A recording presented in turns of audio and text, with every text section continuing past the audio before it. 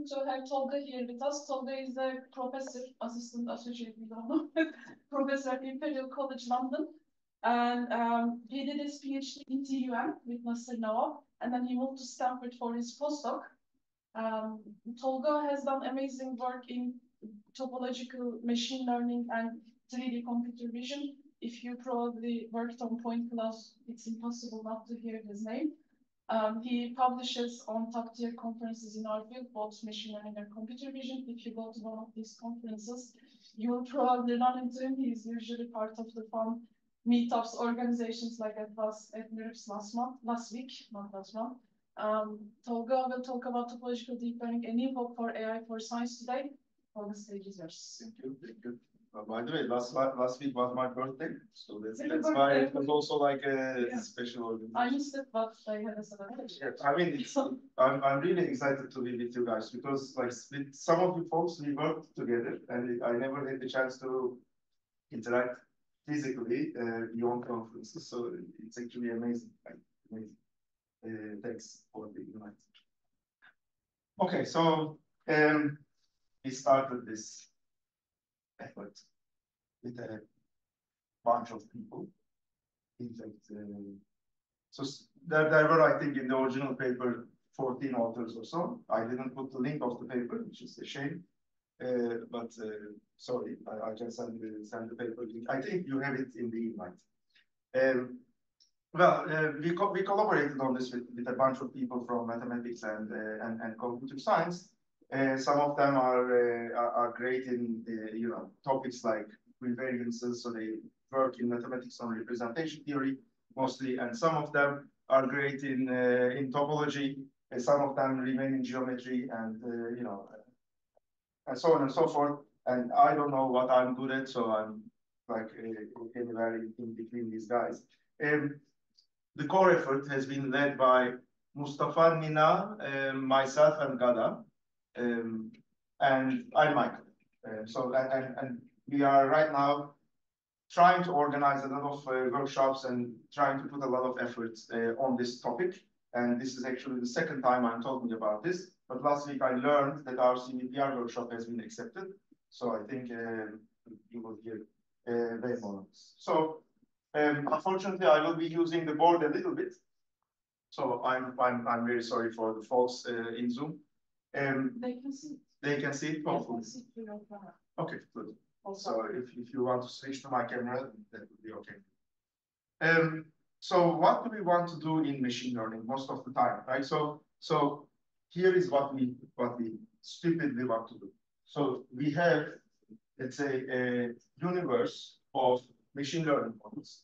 We usually call this the hypothesis class. Set of all hypotheses possible. These would include different architectures. So part of this hypothesis class would be, for example, SVMs. A part of this would be, I don't know, GMMs, whatever machine learning model uh, you work with uh, is in there and think of this giant, giant thing, uh, you know, uh, infinite size. And then here uh, in one corner, there is deep learning, which we all do now, right? So deep models, I should say. And this class, um, we usually have architectures. So most of it is, is composed of, let's say, different architectures. Let's say this, this architecture spans this region, and then there's another architecture that spans this region. Um, so you have a bunch of possible architectures, in fact, possibly infinite. Um, and within each architecture, you have the model parameters. So you change the model parameters, you get another hypothesis, right? So imagine this huge space. Now in that space, let's say you are doing deep learning, right? And uh, you specify yourself to a certain architecture most of the time, um, which is a bad idea. But still, you start from a point here because your, your weights uh, are randomly initialized. Let's say uh, data zero somehow comes from some kind of an interesting uh, distribution. Um, and then you want to find your way to this, hopefully the best model uh, you can find that will fit your data perfectly, right? And this is a challenging problem, as you all know, because uh, the number of parameters in your model is you know, super large. And uh, there are all sorts of caveats. Maybe your loss function is not modeling the reality correctly and so on and so forth. there's the generalization issue and, and whatnot, right? And so what you want to do, you want to put a lot of inductive biases. And what are the inductive biases that, that we actually put? What do they do? So they in fact restrict the, the possible hypothesis class, right? So what, what you're doing, let's say instead of starting at this point, if I impose some kind of a constraint on my variables, then maybe I will be starting at another point and then it will be easier to move. So let's say I will maybe restrict the region um, such that the, the best model remains inside this region. But I can only do this um, as I see the training data. And as you see on the slide, um, so if, for example, there's this popul population loss, what, what, what people call the RF. Okay, this is usually an expectation, so usually an integral, and um, that's population loss. And that is saying that if you have all the data in the world, if you have seen everything, that would be the loss you attain. Okay. And that includes, of course, your test data, your training data, and all sorts of other data that you could possibly see. And then there's the empirical loss. It's that's the empirical risk, right? And then the empirical risk is some kind of an estimate, R, um, given that hypothesis. So, um, and, and to, to get that estimate, you sample randomly a batch of data or you collect a batch of data, and then you evaluate this loss function. So to train, you need this training data. So what you have access is this. You never know what that is. Okay. And but you hope that just by training on this, using this risk, you get some kind of a, well, just, just by training, let's say, on, on a finite set of data, you get an empirical loss that is close to the, to the real loss on any sorts of data. Okay. Um, well, again, challenging problem. So to make that happen, uh, you kind of want to put a lot of price. So you see that this is uncomputable, by the way. And uh, you know, some kind of a supremum of this, or people do it different ways, um, can be linked to a generalization, what is called the generalization error, right? So basically what you train is, is this, but at the same time, you want this quantity to be small as well. And so that's a paradox in deep learning. So this is what the, the of machine learning people work on. Of course, you know, what, what, what type of priors do we have? Like, or what type of regularization uh, do we have for, for data, right? Uh, one is, for example, that you would know, I assume, or, or I'm, I'm going to force my, my weights to be Lipschitz, or I'm going to force some kind of a weight decay on this. Or I'm going to say it's a, you know, or, or, or whatever, there are Sobolev norms and things like that. But um, at this stage, um, you know, geometric deep learning was introduced, and it said, well, I know a lot of priors about the world, right? Uh, I know what I'm looking for. So if I'm trying to solve for certain variables, let's say I'm trying to solve for an angle, I know what an angle looks like mathematically. Right? If I want to solve a rotation, I know what a rotation looks like. So I'm going to bake these transformations into the network to, to get better inductive biases. That's, that's the first thing. The second thing it said was to decompose the domain from the signal and the and the um, transformations that act on this domain. So basically, if, if, if, the object is being rotated, and if you still want to classify the cat as a cat, right? Then you want to do this uh, decoupling or disentanglement of these things, not like a CNN. In fact, this typical CNN would have implicit would have implicit uh, separation of these things, and it would be, uh, for example, translation equivariant, right? Um, but you could you could think about other forms of equivariances, right? And by that, your domain, right, which is usually the for, for an image, for example, it would be the pixels, the arranged in, in a grid, in a lattice. But then they suddenly realize that this can be, this can be anything arbitrary. This, can, this, this just looks like a graph. And I can, in fact, choose it as a graph. And since my uh, representation uh, of the you know transformations are uh, are disentangled from this, now I can uh, have some kind of a nice mathematical uh, framework for processing graphs in an equivariant manner. And that was known as geometric deep learning. And there's a book called Five G's of GDL and so on and so forth.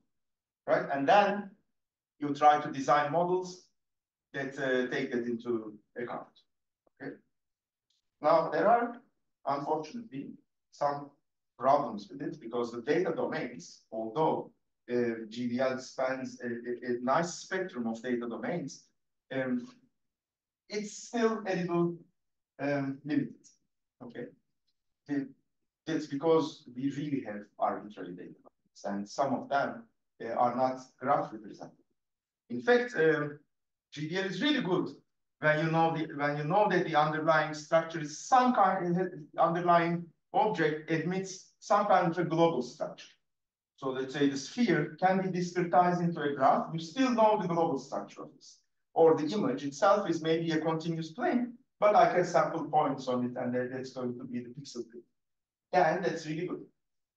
But the most uh, widely used structure, which is a graph, does not have such a global um, geometric model. And then, you know, sometimes, of course, you want to do things locally, but it's also very hard, uh, you know, in a, in a continuous way uh, to assign uh, charts uh, locally at, at times. So instead, we switch our attention to neighborhoods and open set structures. That is how um, the topological considerations begin in this way. And you know, you look at the graph, any graph, and it looks like uh, there's there's kind of a little neighborhood, a discrete neighborhood around it. Of course, if you kind of uh, increase your resolution, you go finer and finer, you end up in some kind of a continuous uh, neighborhood. So why we do this is, is there's a reason for it. Because we would like to model, uh, and I will talk about this a lot, um, higher order structures. So when I say this, by the way, who understands what that could be? And, and I'm asking this for a reason. Anyone? No, right? So because this is something we generally ignore uh, in, in a lot of machine learning problems. Um,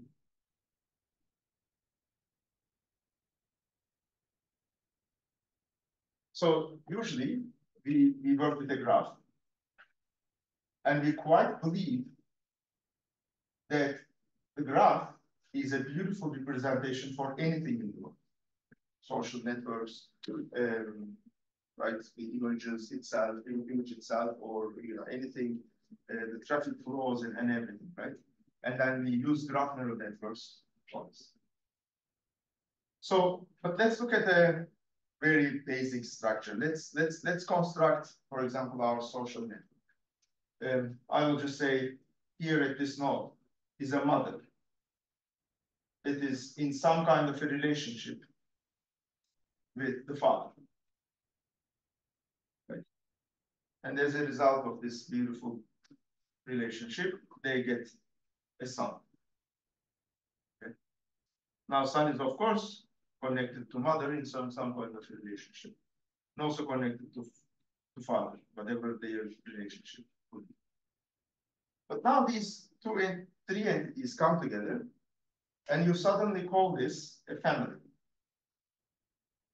And why do you call this a family?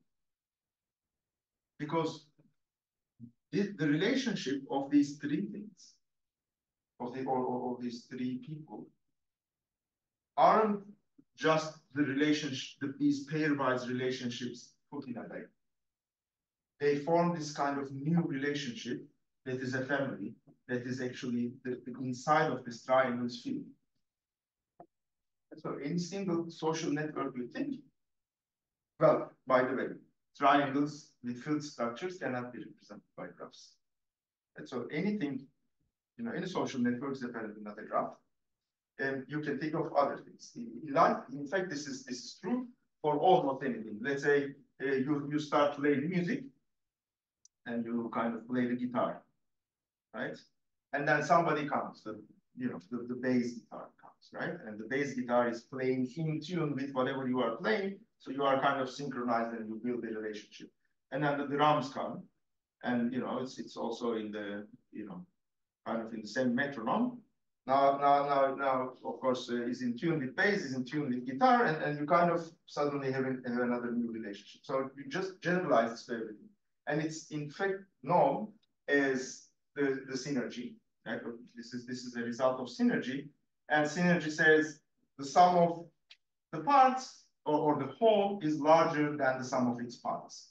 Right? So you fuse these pairwise information, and suddenly you get an information that is not uh, contained in any of these uh, relationships. So, what about hypergraphs? So kind of be treated So, yeah, like so this is, this, for now, this sounds like a hypergraph, and thinking as a hypergraph is perfectly fine for the moment, uh, and, and I will touch upon it later. Okay, so uh, you get the idea that now, now we, we would like to mo like model these structures. I mean, this is this is contained in the data. It is not that uh, that we don't have it. Usually, simplifying this to a graph, you you kind of lose information. You neglect that information for the sake of you know computationally tractable processing, for example. Um, but we don't want that. We actually want to keep these relationships, and for example, hypergraphs uh, would be one way uh, to do that. Um, but I will come in a second why this wouldn't be the case. So there are all sorts of other mathematical objects uh, in the world, and uh, we would like to have possibly something, some some kind of a mechanism that does not distinguish anymore um, these structures and is truly universal. Okay. Um, by the way, one uh, easy example for computer graphics people, if you look at meshes, for example, meshes are not graphs. Meshes are composed uh, uh, by triangles, and triangles themselves are actually meaningful, right? Or triangle meshes at least. But or tetrahedral meshes are composed of tetrahedral elements, and they are meaningful by themselves. Um, so in that regard, for now, in, even in 3D vision, what we have, we have a point cloud, right? Which is just a vertex. Okay. We have a, a graph, which is vertex and an edge. And then we have the triangle, which usually has the notion of vertex and triangles. This is how you would store it. But I would say there is there is usually a common misconception because we consider the triangle as something that connects three vertices. This is not really true. A triangle actually connects three edges because because well there is a flow from this edge because the triangle is filled in. There's a flow from this edge to this edge without touching any vertex, right? And vertex are, is, is just kind of the endpoint uh, of that edge. So, um, you know, at least topologically speaking. And this happens a lot, um, for example, in, in, in practice. Like if you want to model particle interactions in fluid dynamics, uh, or if you want to model how a cloth, if I, if I pull this, how it's going to deform, uh, well, it's not that vertices interact and they kind of uh, result in some kind of dynamics, but it's rather how the, the states of individual edges affect the state of other edges, right? So there is there is an edge there is an edge to edge impact that is impossible to model with a graph because graphs model vertex to vertex relationships or node to node relationships. They're kind of binary. And then comes the applications in science. So, um, for example, if you would like to model proteins, well, you could go with hypergraphs, but hypergraphs uh, are kind of, you know, they, they are they they got these set type of relationships, and they they totally lose the meaning of individual um, cells. So the moment you abstract certain certain nodes to a hypernode, what you say is okay, this hypernode is just a node. I'm just going to treat this as a node, although it is really at a higher level in a hierarchy. So the moment we do this, you kind of lose the meaning of uh, what certain uh, proteins would be. And people came up with different things. For example, they came up with simplicial complex, complexes, right? And, and you see there, uh, but, but they have a, limited representation. There you see that they, they represent the triangles only um, at, this, at this part. And then these triangles, of course, uh, are not everything. They, they are not the, the molecules themselves. Or uh, you could go to some, something called the cellular complex, which would go beyond triangles and have faces that are non-triangular, so you know polygonal faces and so on. Um, and this has more, this is more expressive, more representation power, but also not completely uh, faithful. But so we introduced something called on the on the right hand side combinatorial complexes, which are really combinatorial structures. They are that are like hypergraphs but preserve the ranked structures. And I will talk about this uh, in. So, of course, uh, why we would do all of these things, right? Uh, it's a big problem, for example, uh, in today's world that we would like to do drug discovery.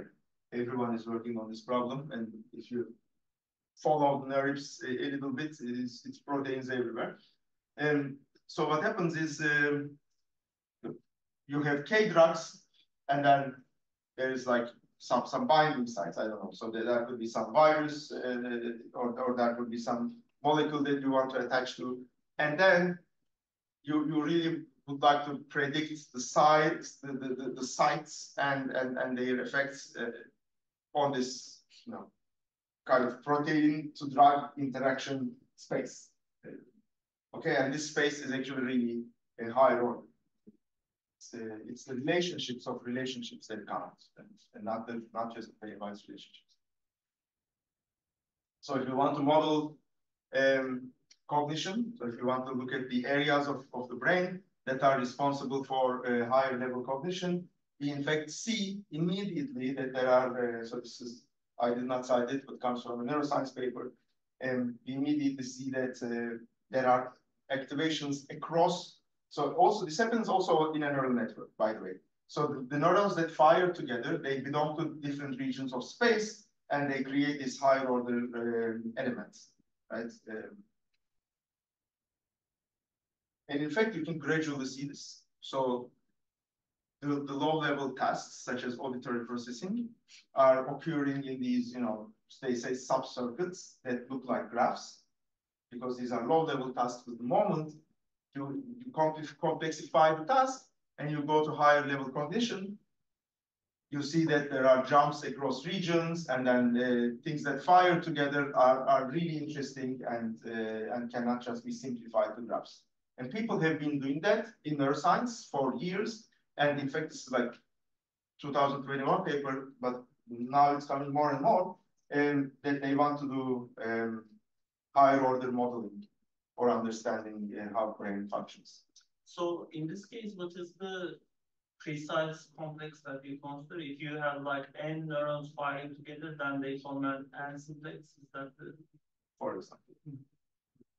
And I, I mean, in fact, what happens here is you have n, which is a very large number of neurons, and then you have a stimulus, and then, then you kind of look at how the neurons uh, activate for different stimuli.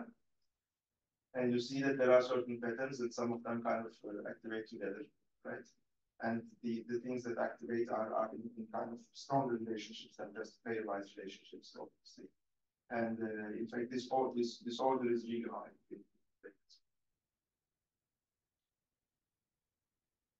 Um, another good part about having access to higher order structures is when you have a graph, let's say, and you want to message pass, you want to pass information from one point to a distant point.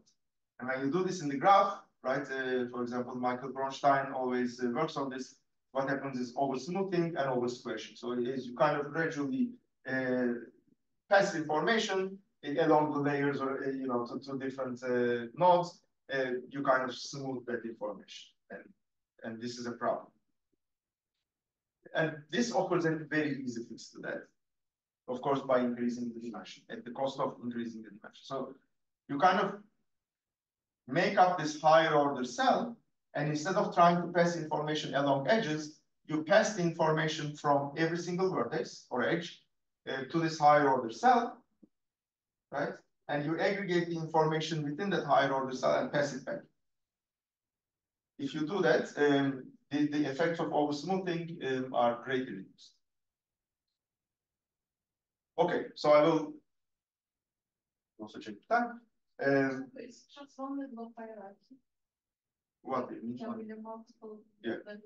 Yes, I will. So, so, um, right, so now, now, you know, now you see my goal. My goal is to kind of generalize the traditional domains of point clouds and graphs and to, you know, general topologies.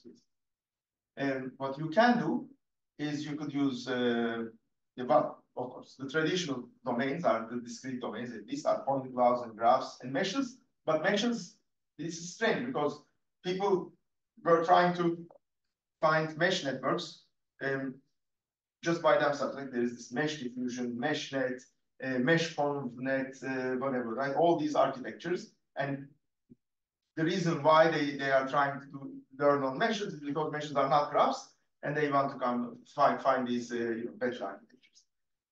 But now, let's forget about this. You want to find something more general.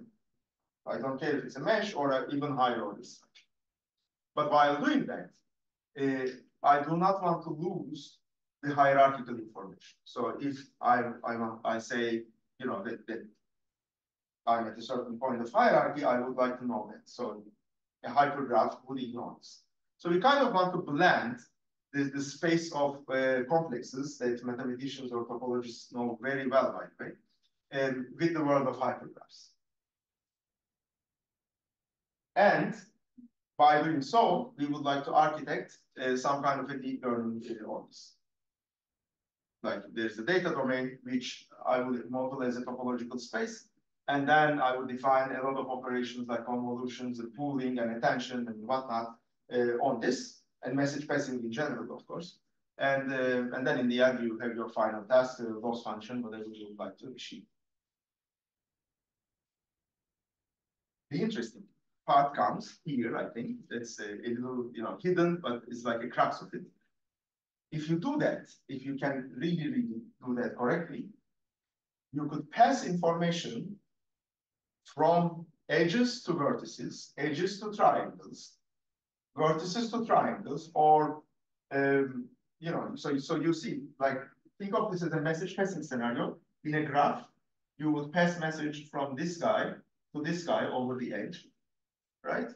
Uh, but now you are you you are given a higher order cell, which is a triangle that is that is kind of an inner meaning, and now you could actually pass information um, from this edge to this vertex, from this edge to the other edge, from this edge to the triangle itself, and these are all meaningful uh, elements, and this is happening during message passing, for example, and that means you can share information in all sorts of interesting ways. Are they different types of messages? Uh, for us, no. But you could, I can imagine that these messages are very. So just like there's a blueprint of geometric deep learning, let me also give you a blueprint of deep learning. And this kind of summarizes what I have talked about so far. So first you start with a set of elements, right? that are independent of how the relationships are constructed.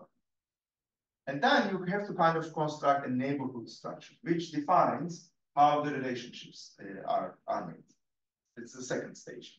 The moment you do this, uh, now, now if, if our framework is general enough, then you are in the setting of graph-like learning, which means that uh, you can use these uh, strange neighborhood information uh, to pass messages uh, here and there. And then you, you, you define your message passing. And in the end, uh, of course, you kind of uh, define your pooling operations and stuff. So you increase your receptive field size and, you know, apply all the deep learning stuff uh, that you, you know. Okay. So again, the idea is to unite the higher order domains and the domains of uh, geometric deep learning um, and come up with a new structure that would uh, rule them all and then define uh, a neural architecture of this.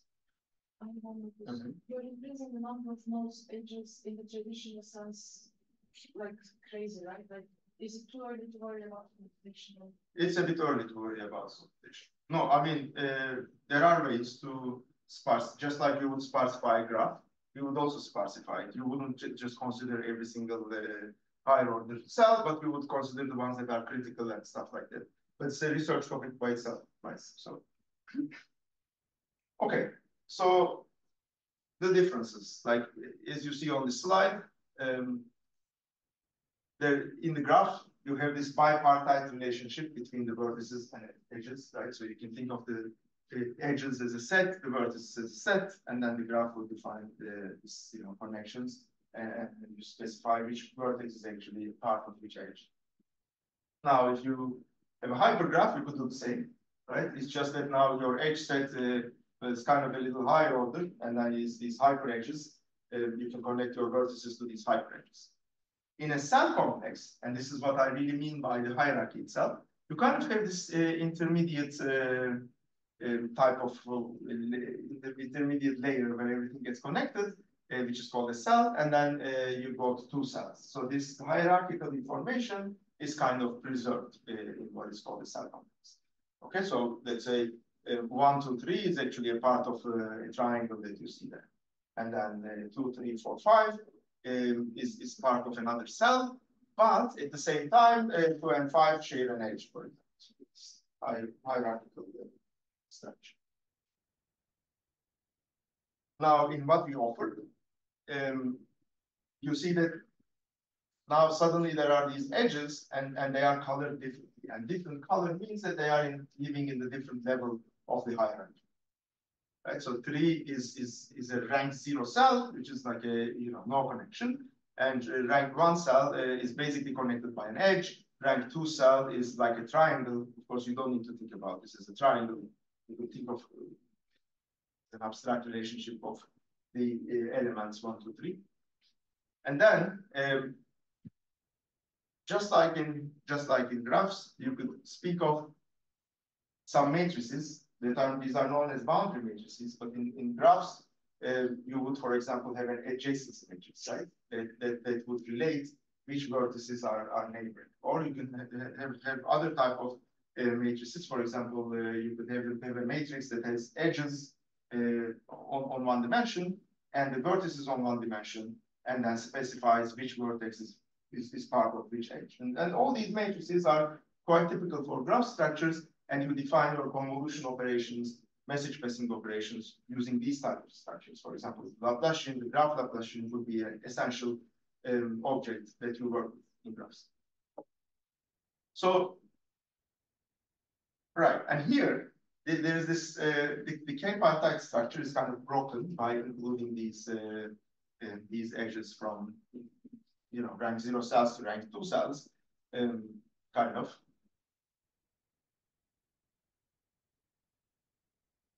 Right. Um, I'm not sure I should do this, but I think I think I will. Just just it's for a second.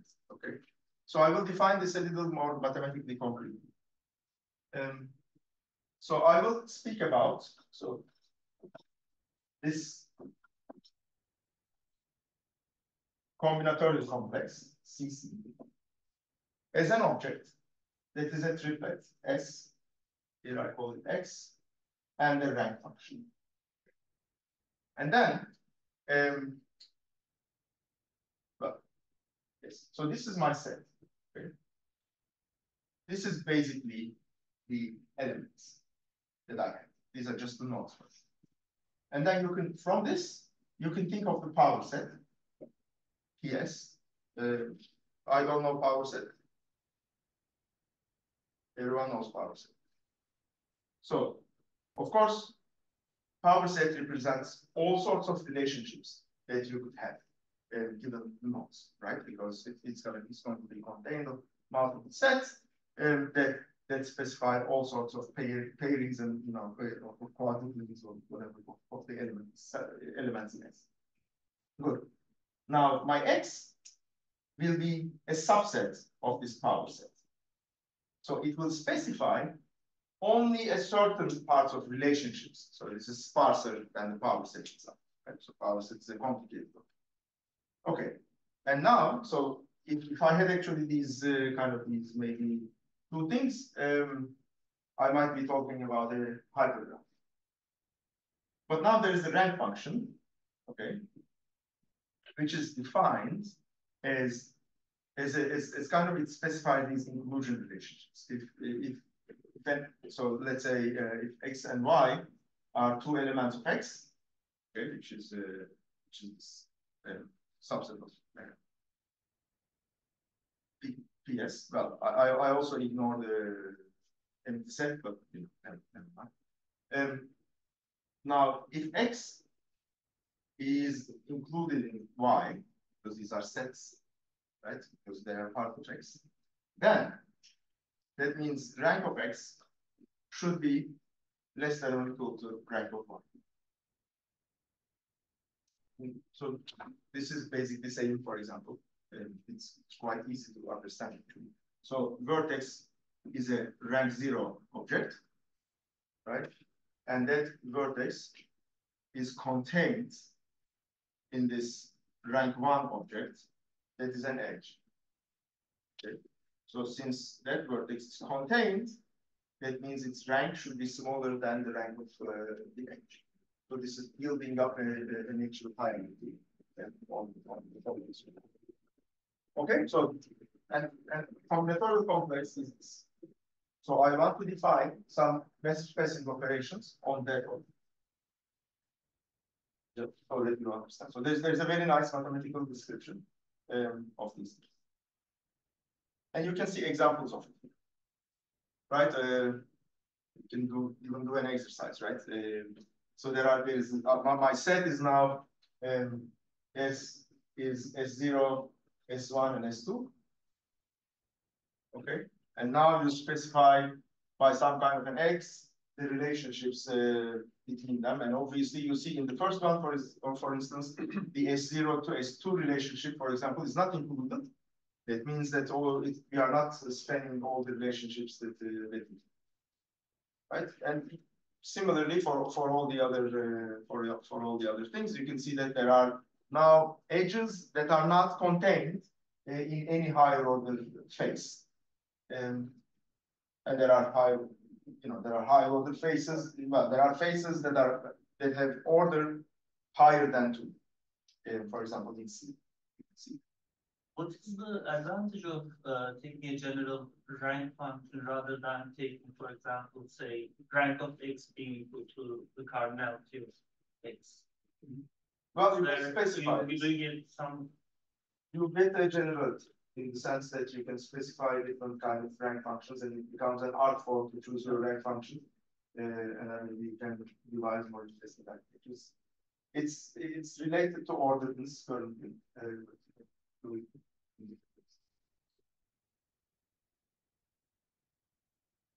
okay, so let me let me go. So the, the, the neighborhoods, right? And there are higher order. So what I'm covering here is the higher order neighborhood structure. So if you have a point cloud, as you see on the left, and you see that there's a there's a red point, uh, which is like the center point uh, of that local neighborhood maybe.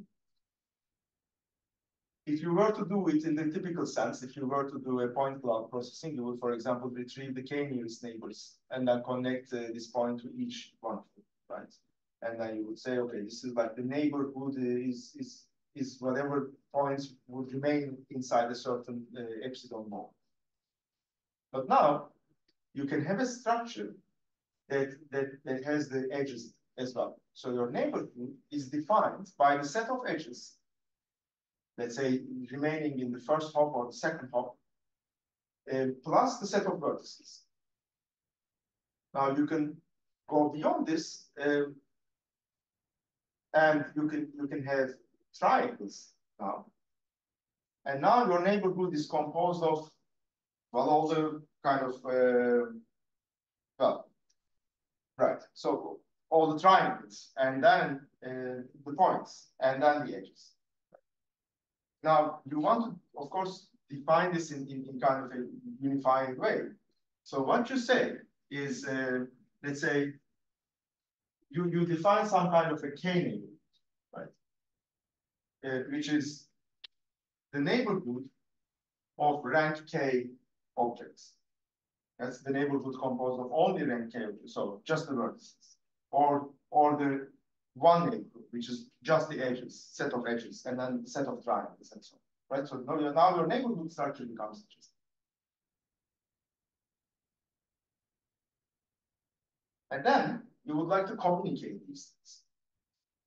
Um, so this is me trying to abstract away uh, a lot of technical details, but uh, you could easily imagine. In fact, let me do it here. So let's say you have whatever you see down there is like a um, simple graph-ish thing and with faces.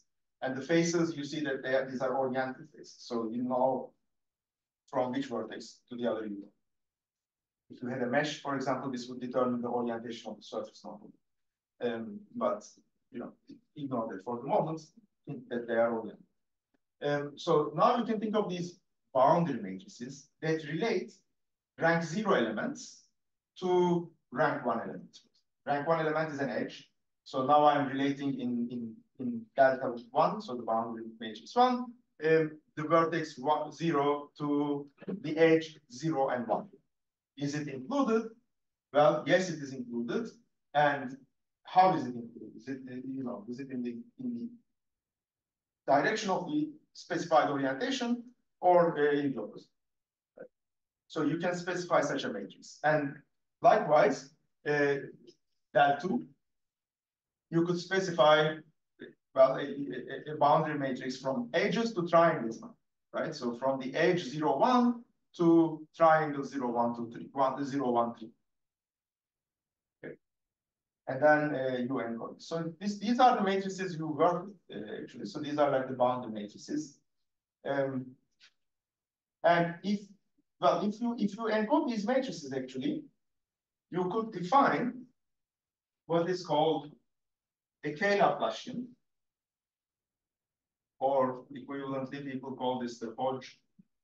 If you ever heard about this Laplacian, the Hodge Laplacian, which is this interesting objects object that is uh, so BK is a is a neighborhood matrix that goes from k to k plus one okay? And so, right, and then, so, or, or sorry, k to k minus one, and then the k plus, the b, bk plus one goes from the, uh, the, the cells, the k, k plus one cells to k cells, right? And then if you do this simple linear operation, you end up with uh, a, a Laplacian matrix um, that is aware of the rank of the complex. Okay, so that's a that's a rank-dependent Laplacian. So you know in which higher in hierarchy level that you are working if you have something. And interestingly, you know, when you have a Laplacian in the graph, we take its eigen decomposition, eigenvectors, eigenvalues, etc. And uh, they, they give you hints about the connectivity structure and interesting structures about the graph, uh, right? Uh, or how, how uh, I don't know, how connected or how, how sparse it is. Um, here, the eigen properties, uh, I should say, or spectral properties of that object um, gives you an idea about the folds and about, you know, other kind of topological properties, like relates to Betti numbers and so on. You know, and for, for, for such a simple uh, complex you see on the left, um, you have this type of a um, Laplacian matrix. Like this is L up and L down, and your Laplacian is basically a sum of those. Good. So now we define the neighborhood structures. There's this one last thing to do. How do we do message passing? Because now I just talked about a K neighborhood, so rank K neighborhood, right? So there's a, there's a neighborhood composed of vertices, there's a neighborhood composed of edges and, and faces and so on. So what you do, you just gather those neighborhoods individually, and then you do a within neighborhood aggregation. Means uh, you do the, your the- just the vertices kind of aggregate a message in themselves. The edges aggregate a message in themselves. And then from these different neighborhoods, you once again combine the information in whichever way you want to combine. Um, and then you come up with the final message. Right?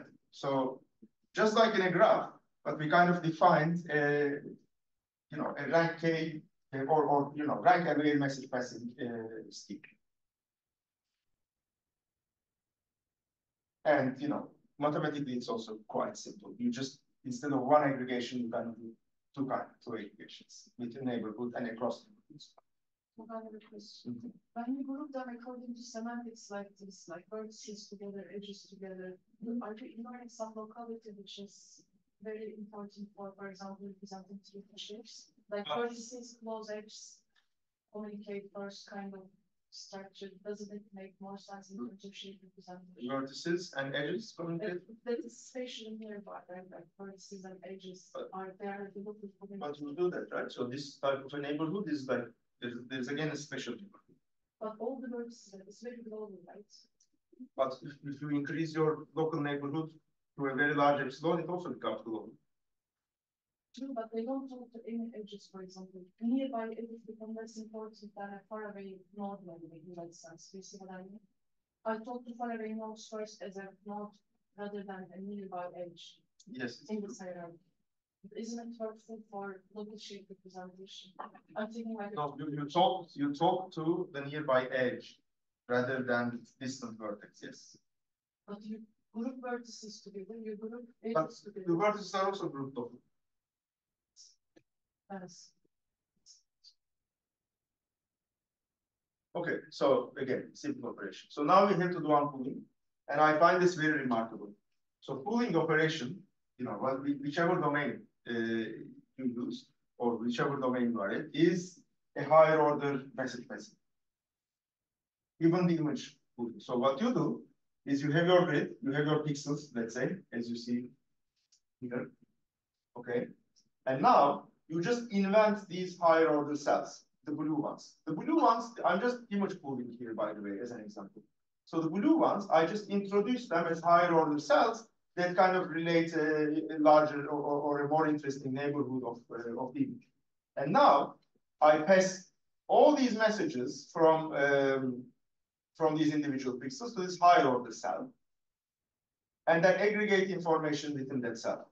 And then pass it back. Now the, the, and if your aggregation is, let's say, the max operation, then you kind of recover max pooling because whatever remains inside this uh, new higher order cells is the information, is, is the pooled information you, you compute.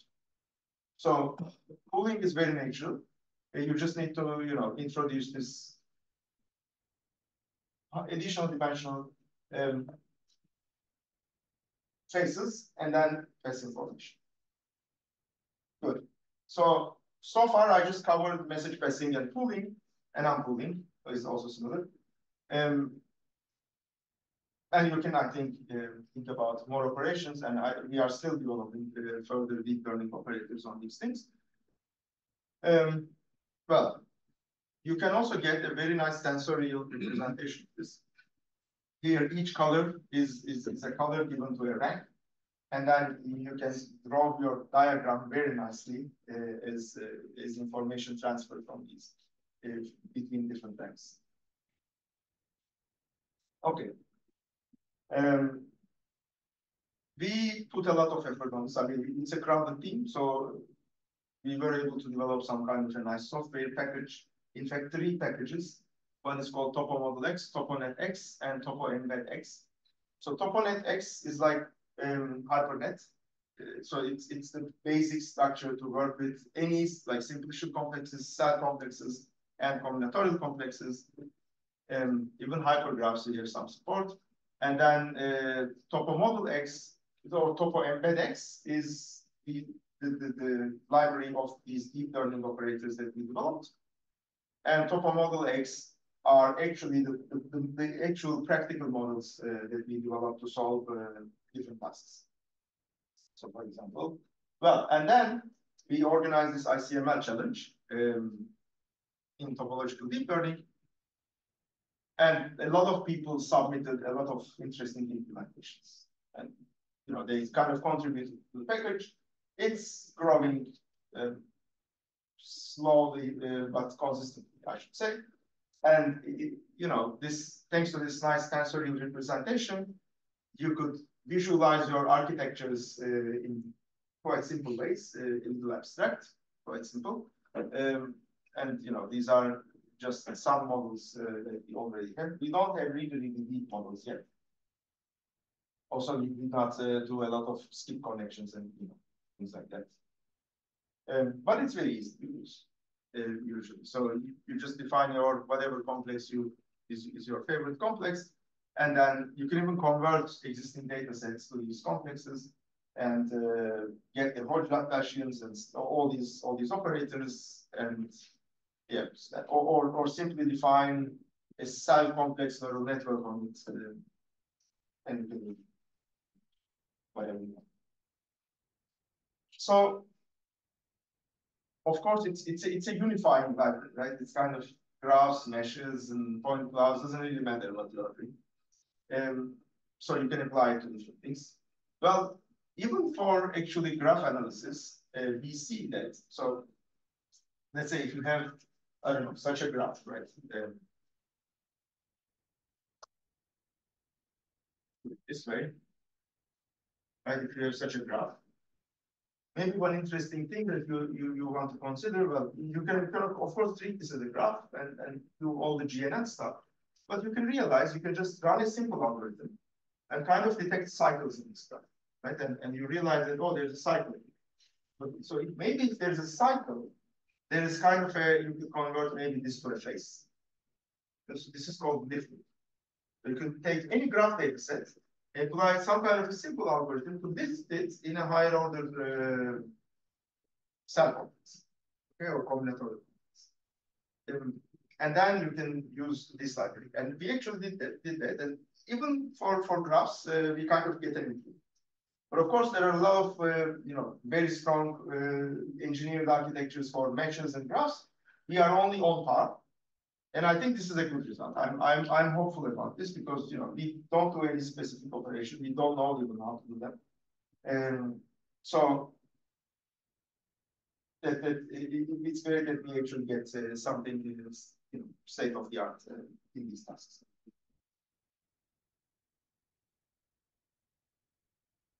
And so you can, well, of course, you want to do diffusion models, for example, and it's the last thing I will show. Um, well, you can again, you can have a molecule, and then you can kind of do this cycle tracing trick that I just mentioned, and then lift it to a um, combinatorial complex. And then uh, you can easily define a diffusion model. So graph diffusion models are usually defined as diffusion models on vertices and edges. But now you simply have the Laplacians and adjacency matrices for all of these um, higher order uh, Laplacians you have or higher order neighborhoods you have. So simply just run your diffusion models uh, instead of one running on one Laplacian, you run it on multiple Laplacians. For one adjacency matrix, you run it on one multiple boundary matrices. Right? Um, so we tried it. Uh, and and you can you can in fact uh, get interesting higher order so molecules so it, you, you don't just generate the the graph the molecule graph itself but you also generate uh, the, the, the the hypercells that they are attached to. And that's interesting um, because uh, now you can speak more of the um, structure of the molecule. So it's a more structured uh, recovery. And I don't have a lot of um, quantitative results. This is just on par. We did not outperform any drug discovery benchmark yet, but there are some teams uh, working on it. Some people are working on uh, doing transformers, uh, and some people are working on fusing this with other modalities, right? So maybe this is maybe this is not the holy grail, but this is an added source of information um, to any other architecture you have, and so on and so forth. So most of the structure is not even the discovery, right? In the previous example. So usually, and this is yeah. So yes. So here, in the training data, uh, the structure is given, and you learn it. You learn the diffusion model, and then of course, you can run the diffusion model in a generator manner. and then you generate structures. Yes. Yes, but of course, uh, during learning, you need the structure. So one of the things that I'm really excited about, so you just give me graphs, Yes. and I would kind of detect the higher order structure as I learn it. So I only detect the higher order structures that are really essential. Maybe not all higher order cells are, uh, you know, How does this stuff relate to community detection? yeah, so there are a lot of, um, yeah, I mean, this is not something that I'm really interested in, but it's true that there are a lot of connections to that. Also, mathematically, there are connections to operator theory, category theory, and you all probably see a lot of category theory in there, which I don't know, so I wouldn't speak of them. Um, yeah, or, or, yeah, it's usually coming from algebraic topology, right? So there are also that type of connections, and people want to solve uh, PDEs with those. Things like that, so that because you know you can model a more complex domain, how would you solve a PDE on this domain binary network? So you know, these are all problems that uh, I don't know, and they are still unsolved. So there are many open challenges if you want. Yeah, I just listed one of some of those here. Yeah, I think I'm done.